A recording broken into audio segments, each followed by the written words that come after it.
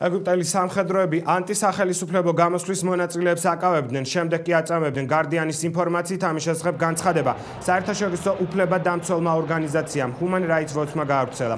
საუბარია ათასობით დაკავებულ დემონსტრანტზე. უფრო ადრე გავრცელდა ინფორმაცია, რომ ეგვიპტეში ადამიანის უფლებათა დამცველები და ჟურნალისტები დააკავეს, თუმცა ისინი უკვე გაათავისუფლეს. Human Rights Watch-ის მონაცემებით, ეგვიპტეში ჯარისკაცები შვიდობიან მოქალაქეებსაც აპატიმრებდნენ და მათი უმრავლესობა ამ დრომდე საპრობილეში იმყოფება.